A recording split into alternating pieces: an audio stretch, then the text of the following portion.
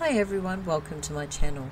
Today's video is some footage that I took at a local pottery store.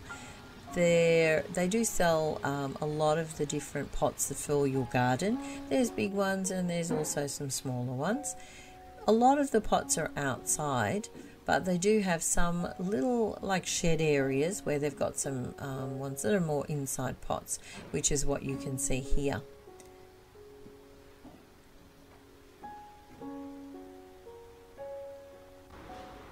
And now this is actually inside the main sort of area. It's a very large shed that's sort of divided into little sections. So this is a lot of the wall art and there's some more rustic sort of looking pots as well. They seem to um, have also some different um, artist work as well. There's a lot of this wall art out of the metal and you can see there's some gazebo type things there that you can pop in your garden and have roses growing all over them if you like. There's uh, some more, more wall art there as well. It's actually a really lovely place to visit. I love this one. This is um, a, a front of a Kombi van made out of metal. And we have some different things here. Nice outdoor table setting with a bee. I love this. I think that's so cute. It's made out of metal. And you can see we've got some more bits and pieces that you can put out in your garden.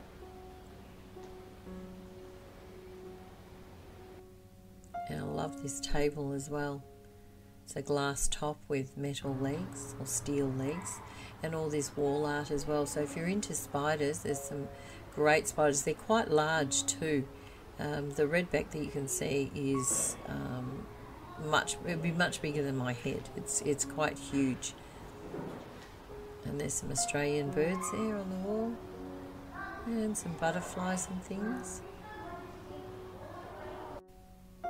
And you can see this this shelf has some teapots on it. I absolutely love these teapots. I think they're absolutely gorgeous. And we have some more wall art. It's more three-dimensional now we're actually inside the original furnace for the pottery, um, the local pottery. And you can see they've actually glazed the walls. And there's some gorgeous things in here as well. I've bought uh, over the years a few things from in here as gifts and things too for other people. And then you can see the roof of the, um, the furnace. Still got the black marks from when it was actually used. And a couple more little bits and pieces that you can see. And that's about it. So thank you very much for joining me on my little trip to the local pottery. And I'll see you again soon.